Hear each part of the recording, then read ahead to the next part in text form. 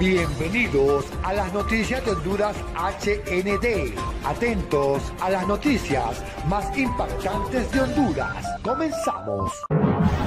El titular de la Procuraduría General de la República, Manuel Antonio Díaz, calificó la ley especial para la Comisión Internacional contra la Corrupción e Impunidad en Honduras, SISI, tenga la figura de querellante privado y autónomo. La propuesta de la diputada Hortensia Zelaya lo que hace, por el contrario a lo que, a lo que expresan estos criterios perversos, eh, es acelerar el proceso de instalación de la CICI en Honduras. Lo viabiliza, lo vuelve posible eh, y crea las condiciones para que con esta ley se construyan los consensos necesarios para que el Congreso Nacional discuta, estudie la propuesta, la enriquezca y finalmente la apruebe eh, tal, de tal manera que el, el, convenio de la CICI, la CICI, pase a ser una realidad que satisfaga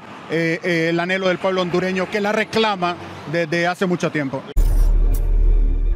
presentado por la diputada de Libertad de Fundación, Hortensia Zelaya. La propuesta de la diputada, el funcionario, consideró que esta normativa acelera el proceso de la instalación de la CICI en Honduras. Lo vuelve posible. Además, crea las condiciones para que con esta ley el proyecto de ley eh, lleva incluido en su contenido planteamientos que la ONU exige para en el marco de la negociación del, del convenio.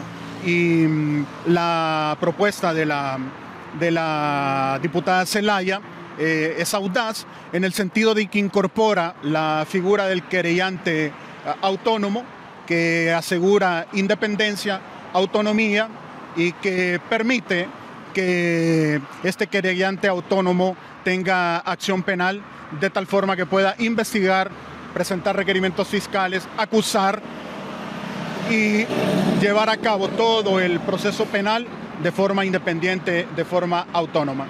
Esa es una propuesta del Estado hondureño que trasciende la figura del querellante adhesivo, ¿no? La figura del querellante adhesivo eh, eh, permite que, o se reduce a que el fiscal general haga los pertinentes requerimientos fiscales y las acusaciones. La figura del querellante autónomo adquiere la acción penal y por tanto puede acudir a las instancias penales correspondientes una vez investigue, presentar los requerimientos fiscales, hacer las acusaciones y a sustanciar los procesos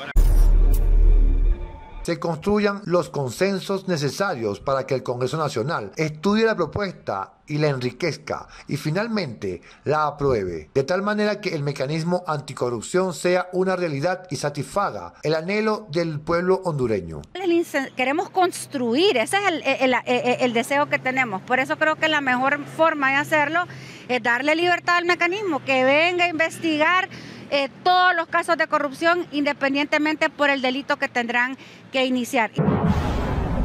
Suscríbete a las noticias de Honduras HND. Déjanos tu like, déjanos tus comentarios y no te pierdas las noticias más importantes de Honduras. Nos vemos en un próximo reporte.